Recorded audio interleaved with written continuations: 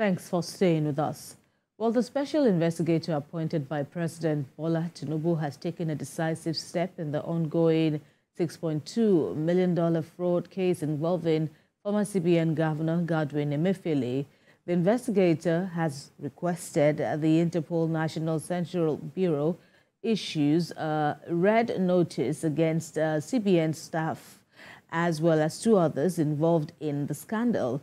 The accused individuals were found to have committed a criminal conspiracy as well as uh, allegedly forged documents in the name of former President Muhammadu Buhari.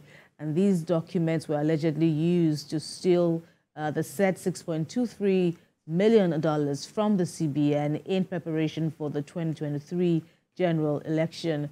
Well, during the ongoing trial, uh, former Secretary to the Government of the Federation, Boss Mustapha, testified that the documents used to pay uh, the $6.2 million to election observers were indeed forged. The Economic and Financial Crimes Commission filed the amended 20-count charge against the former CBN governor, Godwin Emefiele, for his alleged involvement in the fraud. The accused individuals were said to have acted with impunity and without regard for the law. And now the special investigator has taken a bold step to bring in these perpetrators uh, to justice. And uh, of course, that is the crux of our discussion this morning, of course, in a bid for the country to regain accountability and transparency in all its institutions. Well, joining us now to react to this uh, developing story, we have Ayodele Adewale. He's a political analyst. Uh, welcome to the program. It's good to see you again. Thank you for having me. We also have joining us the former manager of public and government affairs at Mobil Oil Nigeria PLC. Is presently the CEO of Chronicler and Associates, Akin Fatuke. A pleasure as always. Uh, welcome. The pleasure is mine, Kemi. Good morning, Nigerians. Right. Gentlemen, once again, you're welcome. And this scandal, this controversy has indeed uh, become a burning issue, a disturbing trend, especially with the revelations by the former uh, SGF who served under uh, uh, President, the then President Muhammadu Buhari in the person of Boss Mustapha. But what do you make of the revelation so far? Mr. Fatuke? I'm so unhappy, Kemi. And um, as a chartered accountant and a controls person, I don't have to have gone to school to know that Nigeria has been run aground. The shame that has befallen Nigeria, yes, we've been hearing about so many things on corruption in the last eight years in the last 16 years before that time, but we have entered a truce mm. of the most incredulous, the most unbelievable things that can come openly when the former secretary to government, Boss Mustapha, testified in court. I am beginning to see uh, a stage where the downhill uh, direction for Nigeria is being accelerated. 6.2 trillion billion dollars mm-hmm. paid to who, when, how, in the same country, where we have the likes of people in my profession, the history of chartered accountants of Nigeria, and where we have top-rate lawyers in the mold of the Williams, Rotimi Williams of blessed memory, and uh, right. the doyen of our profession. These people will be popping and shaking in their graves. No, I dare say, um, now this through three basic dimensions. One, controls, discipline, right. accountability paid in cash in 2022 is unfeasible. I can't, I can't just begin to now think about it. The second dimension, of course, is now to look at paid to who? Paid to the electoral monitors. Yes, we knew the electoral monitors as part of their helping to deepen and widen democracy were supposed to come in as observers.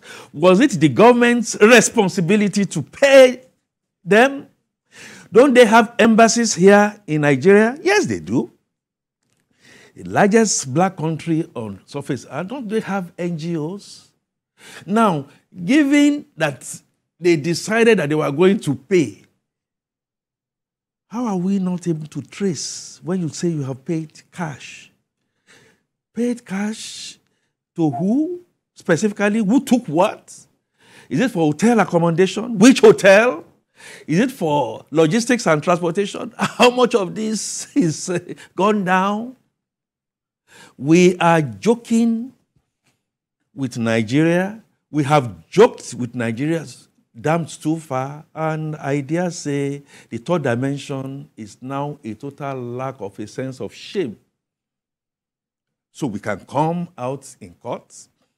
Ali Baba and the 40 thieves, and between the 40 thieves and Ali Baba, one will be pointing at and pointing at uh, the other. Look, those are just the elements, in my honest opinion, um, that uh, requires a lot of answers to. But I am not a politician.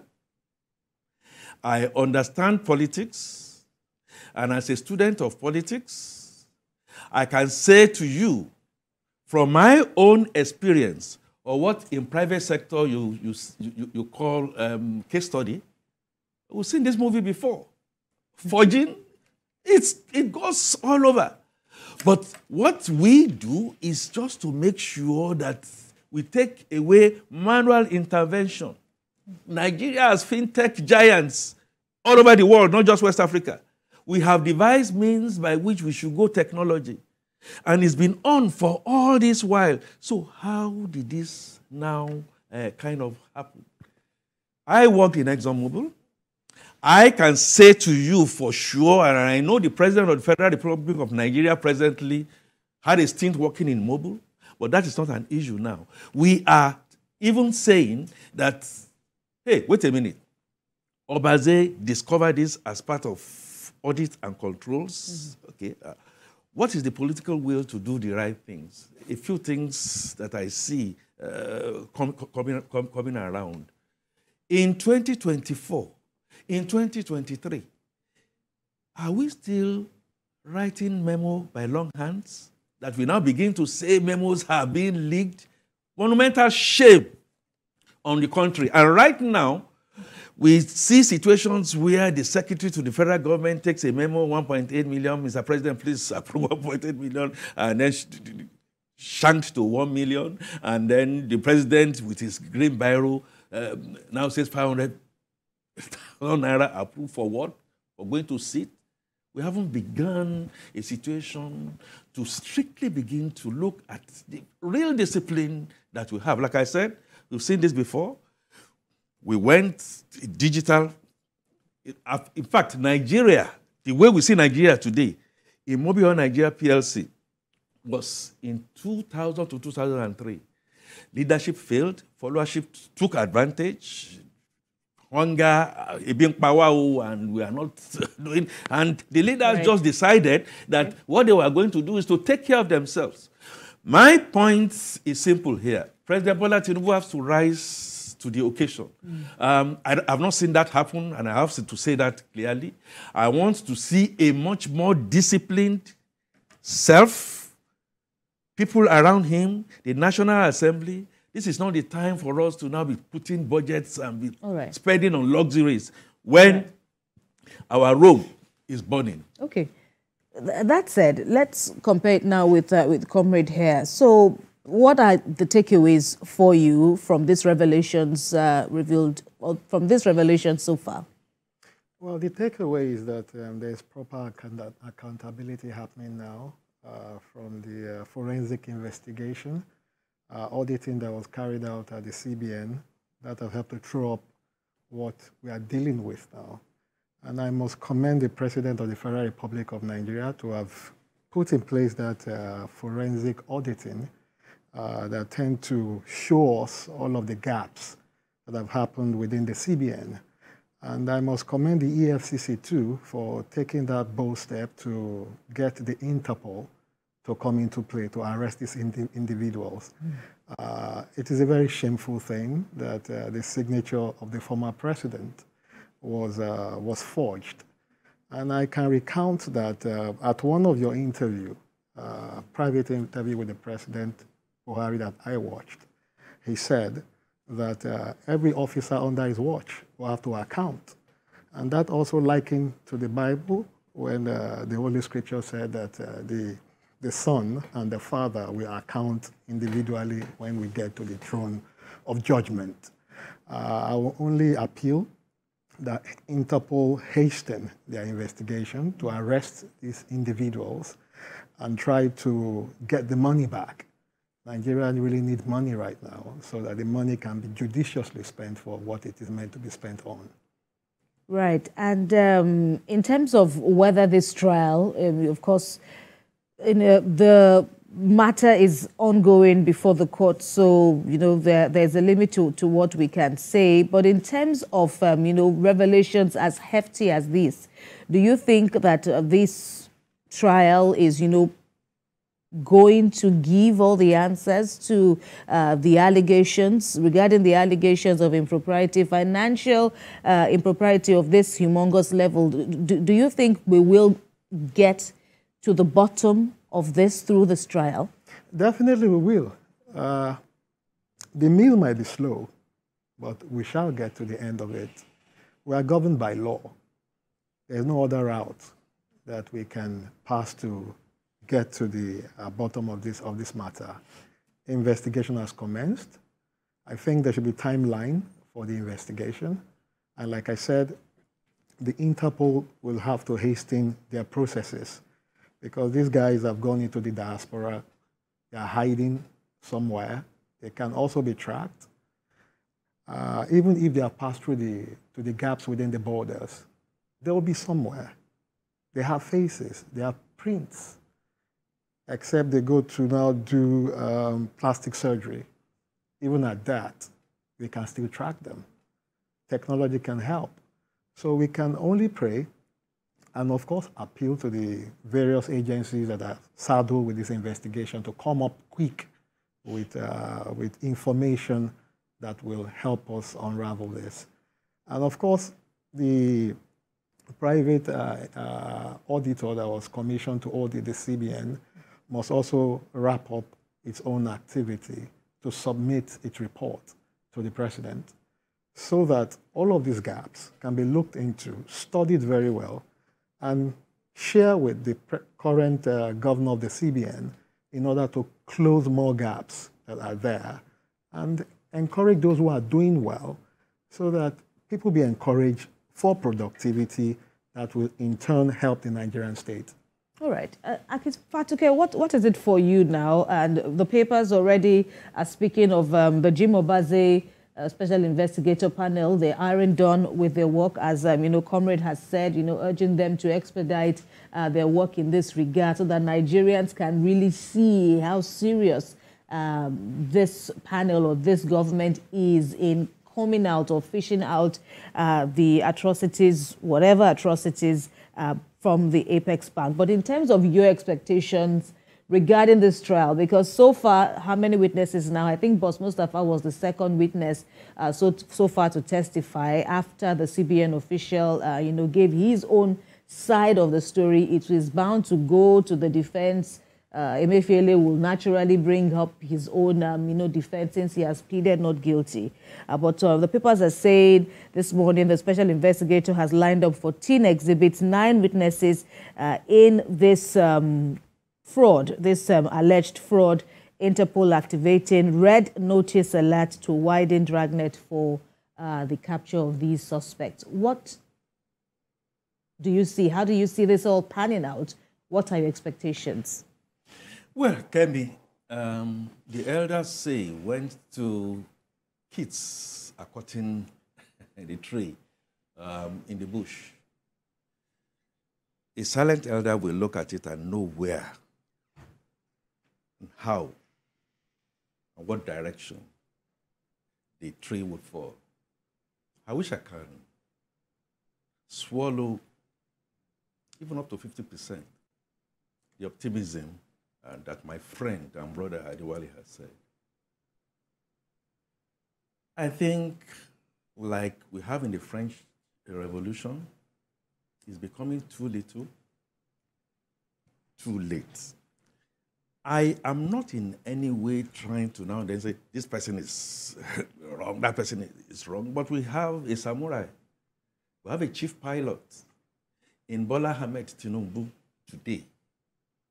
I think I am seeing situations where things are going too slowly, and I'm seeing a coloration of a bit of a continuation of that old regime. I mounted my point that people are calling me from all over the world. Akin, what is happening in your country? Is it true or is this one of these social media uh, hypes?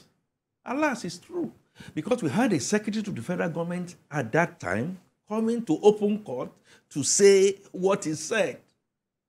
Do you know the kind of capital flight that is going to take and toll will take on the little steps that President Bola Tinubu is taking? I'm, I'm saying, simple.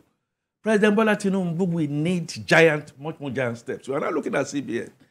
We haven't looked at NNPC. We haven't looked at NPA. We haven't looked elsewhere.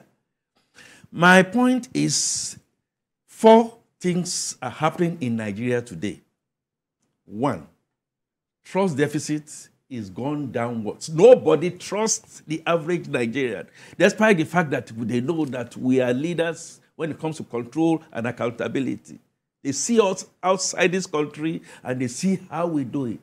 I was part of uh, the 57th Annual Accountants Conference, where President Buhari came and, I mean, through a representative, and we gave clear, clear communique talking about things that we are seeing in here. Additional participated. uh, Mrs. Um, Ezekwesili participated. Texts from all over the world came and said, Oh, come on, Nigeria, you are the giant that we should be looking. But I am extrapolating that to the samurai that we have on board. I am not happy that what happened during Buhari cannot happen again. Why? We have situations where memos are still being done manually. How many people in the presidency know how to use the computers? I put it across because if you have computers and you have traceability, which is the essence of technology, you will not now be saying somebody has put a memo and then, uh, you know, there is uh, an office messenger that will take it to the photocopier we will now then make photocopy and begin to leak to the outside world, that means we are not ready to start. I say this because of my own involvement, and I've just mentioned it here. And you know a deja vu again 6.2 million US dollars was the same amount my company used at one point in time to ensure credibility and accounting. 2 million out of this was for training of our people. The people were so trained, and go back to the records, you see that the best of the best you can find anywhere in the world, gone to banking, gone outside Nigeria, went to Ghana, went to Zimbabwe, are people that were trained by Nigeria. But what has Nigeria done? And what is President Bola Tinubu currently doing? Yes, bond reforms to align the interest rates to take away subsidy. I, I, I have problems I have problems with the kind of implementation. And let me tell you my problem.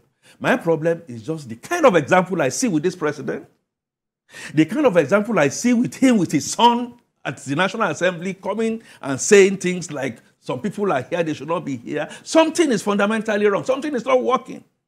I see a situation where a budget is done, and under the nose of this president, perhaps for political and political balancing, Members of the National Assembly will be buying SUVs.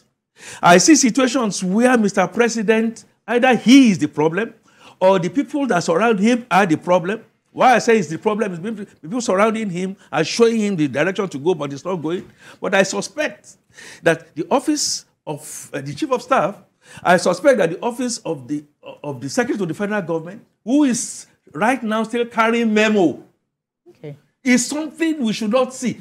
Look, we are being a laughing stock all over. So that's one is that is one. People are hungry, and we are being insulted. Can you imagine the situation where the emir of Kano, clear insult in my view, clear insult, he's told us what we all know. Yes, go back and tell your husband that we are hungry. We know. What is spoken in Hausa. Can such a thing ever happen when Buhari was there? Can, long and short of the whole of this is that Mr. President needs to wake up right. to the coffee, the insecurity, the corruption, and let me say the final one that I know people will want to be very diplomatic with. What we are seeing in the horizon is the wind of change that is going in the ECOWAS region. It's been Gabon, it's been Burkina Faso, it's been Mali. Lately, we now have a, um, a, a, Niger. Niger. And Mr. President, for people, and Mr. President knows this because he might be wondering how come, it's just my analysis. Okay. Going to appeal to the military that do and do your responsibilities. When wind of change started, like Macmillan of, uh, of, of, Great Britain at that time, when the wind of change started in 1960, he didn't broker, he didn't take any prisoners. If this president does not get up right now to begin to show good example, I don't have any problem with the policies. I mean, when you say you want to take away right. uh, subsidies, All right. is subsidy on consumption. We should have some form of subsidy on corruption. And when we have corruptive people surrounding you, take decisive steps. Obaze is trying to do his best. He can only try. Finally, you made a point just now. You said uh, Obaze has lined up a couple of uh, witnesses, witnesses, exhibits. Let's wait. The ground is going to shake. People close to the heart of government and people close to the heart of this present government are going to be called to question. I do not see any reason why, my, my view, Buhari will not go into the dock. He has no, no immunity right now. I don't see any reason why the emirs and the kings and the obis who have shared our commonwealth will not be called to dock. And by the time all these things begin to happen, Nigeria begins to unravel. For now, okay. Nigeria is not viable. Nigeria is not viable. I repeat, Nigeria is not viable. If 6.2 million when our children are being killed like fowls on the street as we speak today. As you and I are speaking right now, more people are going to be killed. Just watch it. It's not a cause. All right. That so said, it, it's, let, it's, terrible, let's, let's and we balance, need to do something. Let's balance, um, you know, your perspective of, of this trial, how it is a reflection or I don't know what you think, comrade, but how it reflects on the state of the country. Um, comrade Adewale, what areas of um, what um, uh, Mr. Fatoke has said would you like to respond to? But you know where where I'm going is how this trial is also a reflection of the current state of the country and the thorny issue of um, you know the trust deficit or the issue of trust, the issue of credibility uh, of the current administration. Well, I will say that um, trust is a product of manifestation, and the manifestation in this context is that the present administration have put forward programs that can ease the pains of the people. Uh, it is not a sprint, it's a marathon. Uh, the distortion of the economy did not start with this administration. It has started prior to this administration, and the administration is taking bold steps to reduce all of this uh, uh economic impasse that we have globally. Uh, I do not align with some of the submission, but I know very well that uh, the Nigerian economy is in dire straits. But again, the hands of the government is on the plow. They are doing all their best to making sure that things work well. I'll take it from security. Yes, we have some security lapses, but in recent time, unlike before, you see that many of these kidnappers have been apprehended. We have seen that in the last weeks that have come. You saw what happened in Ekiti State. Unlike before, those criminals might not have been apprehended, but they were apprehended. Similarly, in some other corners of the country. So that shows you that there is an assurance that Nigeria will get better. Yes, you have the free fall of the naira that is happening now. But again, the administration is working tooth and nail to engage the people, engage the economic players, showing them how to do these things. And they've also shown some sinkholes. The dependency of some Nigerians not to believe in the system in Nigeria, especially in, agri- I mean, in education and, of course, in health. Yes, they have their free will of liberty. But again, these are areas that putting more pressure on the Naira. Yet again, Nigeria also need to generate more income. We see what is happening in the oil and gas industry, where people just go, either blow up the pipeline because they want to get their own from it, or take away from it and sabotage the government. The government also have engaged some key players within that, those enclave to support them for pipeline monitoring, and they've been very productive. You understand? The production of the crude oil for international market and all of that have also increased. But we all have to do a lot to making sure that this system is good. The government also have to continue to work 24 hours, continue to engage the Nigerian state, put more intervention, especially on agriculture. Recently, the president have ordered that the, the, uh, the, the, the, the, the, the, the, the, grains be released Right. for people, you understand, in order to push down all of these things. They are working so much on infrastructure, especially road infrastructure, in order to get out these goods for people to access and all of that. Many interventions are also being put in place, but it is not enough. More needs to be done. And in order to achieve this, we have to close more gaps, especially leakages in our own economic stream. Mm. The Minister for the Coordination of the Economy has also been coming out regularly with his team. The Minister for Budget, the CBN Governor, we've seen them many times engaging the economic class in order to talk to them. We've seen some level of palliative being given out. But again, state governors, local government uh, chairmen or hemsmen, as you would call them, must have to play their role. There has been an increment in terms of federal government allocations to them. The question now is, what are many state governors doing with these funds? I mean, some state governors are still not able to pay salaries as of now. They have not been able to increase the minimum wage that they all agreed to as at then, which is 30,000 naira, despite the fact that the federal government has increased their subventions and all of that. What is going on? The federal government alone cannot shoulder its responsibility. We have three tiers of government. They are appropriating resources to them. They also have to play their role the way it should be played.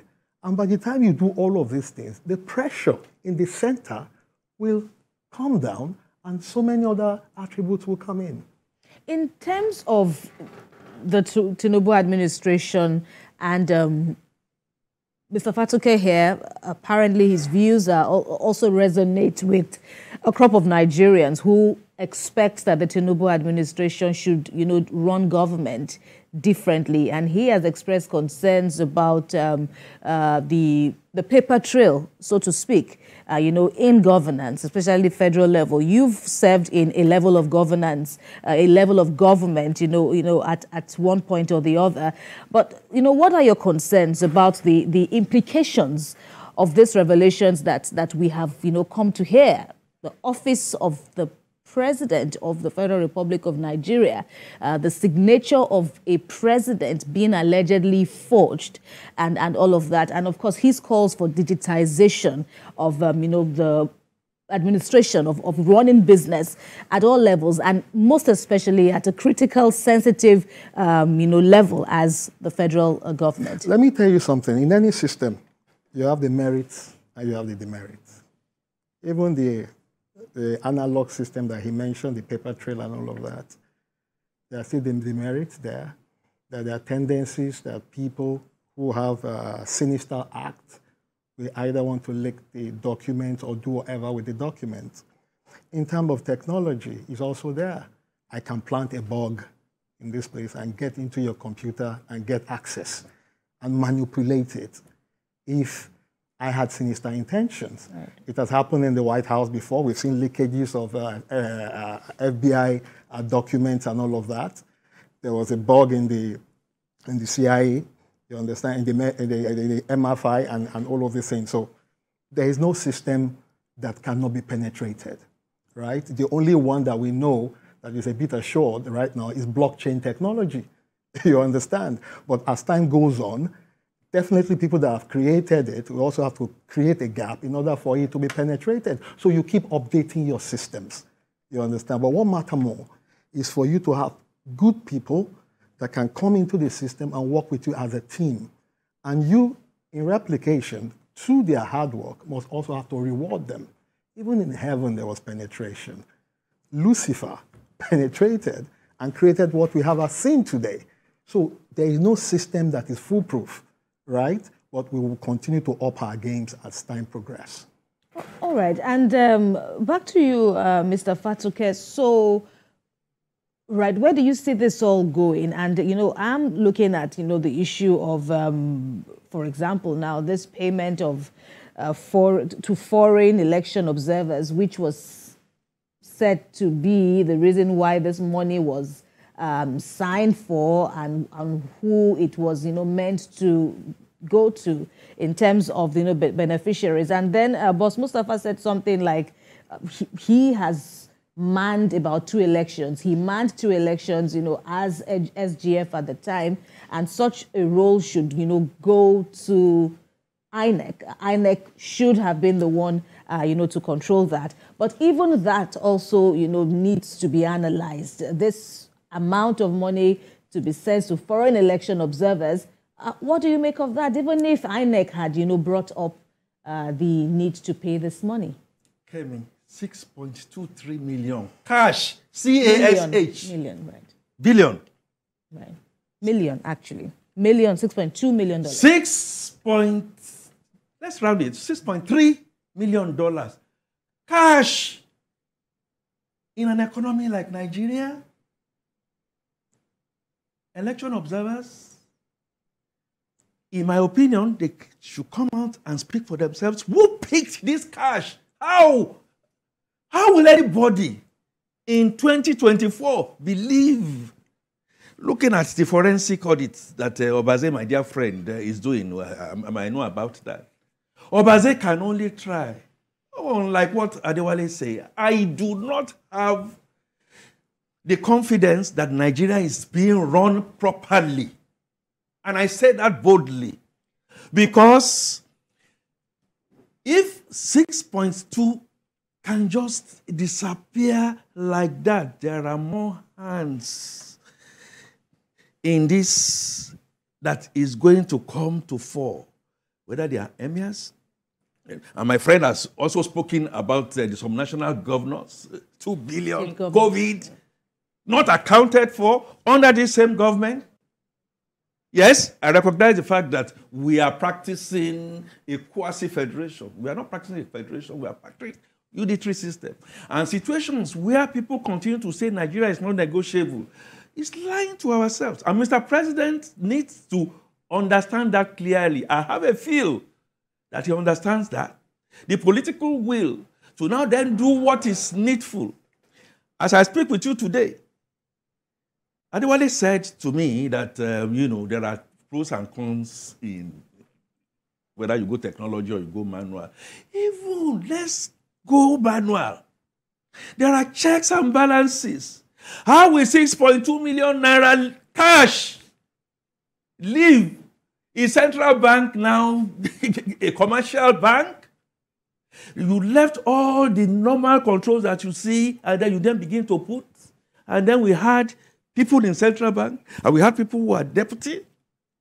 We had a governing council in central bank. It went through all this, and nobody in central bank now then say, "Hey, wait a minute," because we are going to do it manual.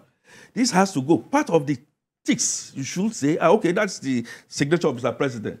Please, can somebody verify if it is genuine or not? Then I went to verify if it's genuine or not. And then, without even saying that, the bank can put a call through. Mr. President, Mr. Chief of Staff, $6.2 million at a time when Nigeria was groaning and bleeding, where blood was flowing everywhere, where our military were overstretched. It's not an excuse. And then I married that, like you rightly said, to the fact that I am now beginning to see a president. I'd like to be proved, proved wrong. I'm, I'm seeing a president who is militing on memo. And that memo is not going to be carried by it's going to be carried by some other people that you feel that can always leak this out. We are really not ready. And Ebin Pamio is beside in Lagos, is beside in Kano, is beside in Mina. If something is not done to take a hard decision to restructure Nigeria, everybody wants to say, eh, what do you mean by restructuring? The financial restructuring, which I know President Bola Tinubu knows very much about because I know he knows very much about it. And if there are political um, impediments to this, come out and tell Nigerians the truth. Right. I am not really interested in you, Mr. President, talking about second term. No, Nigeria is not a matter of second term. Nigeria is getting into a truce where we are going down the drain. Nigeria is waiting for some happy go lucky people that happened January 15 in, in, uh, 1966 to just press the button. There is so much hunger in the land, and we must now get back to it. I am in full agreement with the policies. Neoliberal economists will tell you that where we are at today, many of us saw it four, five years ago, and that is the truth. We saw it and we, we said, no, but then you say, let's keep quiet, let's continue to do what we need to do. This president came with bold reforms. What has not happened is the discipline and the rigor to show. I am going to show this example as the most, I keep on saying it all the time, powerful president in the world. All right. In terms I, of the way you can influence the National Assembly, right. you can influence the state governors I will put certain things down and I want to be, to be sure. Now it's re released from grain reserves. We are hearing from grapevine. Mm. Which grain reserves? Are they there? We saw rice pyramids at one point in time. And suddenly rice is going for seven, seven. Look, it goes beyond sitting down and say we shall. We shall. Mm. We should restructure right. Nigeria. We should get back to the drawing, drawing table okay. and say to ourselves, people don't trust you as much as they trusted you with your margin of, uh, of, right. of, of, of, Mr. Uh, Fatuke, of victory. I'll come we back. Must get everybody together to on a round table to take Nigeria to the next right. level. I'll, I'll, come back to you for uh, possibly because of time now, possibly final submissions. But I even want to also, you know, field this question to the both of you regarding uh, what people have called the ghosts of the Emefiele tenure while heading the CBN. And now that uh, Mr. Cardoso uh, is there, Olayemi Cardoso is heading the place now, and the battles uh, he's having, you know, regarding the free fall of the naira, inflation, and the likes for the good of the common man. Uh, I, I wonder how you respond now to this, um, you know, lingering issue and it's, it's stony uh, dollar versus the naira and, and all of that. Where do you stand and um, how well do you think um, Mr. Cardoso is working to right the wrongs? I use the, the that phrase cautiously, uh, cautiously to right the wrongs uh, that his uh, predecessor made. Mr. Cardoso did say that the value of the naira is not actually what is being projected. So it also means that the rate at which we are buying the naira right now is not the actual value. In fact, naira should be stronger than what it is now. And that is why he has come out to, to, to say that and that they are working tirelessly to making sure that the actual value of the naira is projected in order for it to gain its strength and all of that. But again, we've had a lot of harakiri that have been there before now. And if you don't clean up all of this mess, our economy will keep being in dire straits. And part of the cleanup is this forensic investigation that have come out. And that is why I said that the audit process should be hastily completed so that it can be presented to the president. The president can sign off on it for persecution. By the time you put out the persecution aspect of it, right, gaps will start to be closed then we can repatriate some of these funds because they will have located where these funds are. Then more people can have trust in the system. And this will also help our economy to gain strength. Sabatoke, your take on this? Are, are these mechanisms uh, issued so far by the CBN, the current CBN composition, are they working? And what is making them not work if um, you don't agree? As an accountant, I am bound by controls, I'm bound by discipline, I'm bound by the conservative principle, I'm bound by telling the truth, even if you feel bad about it, albeit must be propelled by character, competence, capacity, and compassion. Compassion, we have seen because of corruption, whether it is uh, Betta Edu, whether it is uh, uh, uh, Ojo, and all that, we've seen things going down in that direction. How many much more that do we need to have? In terms of control, I have absolute and listen to me, I have absolute trust in the control capacity of Dr. Yemi Cardoso, but I pity him.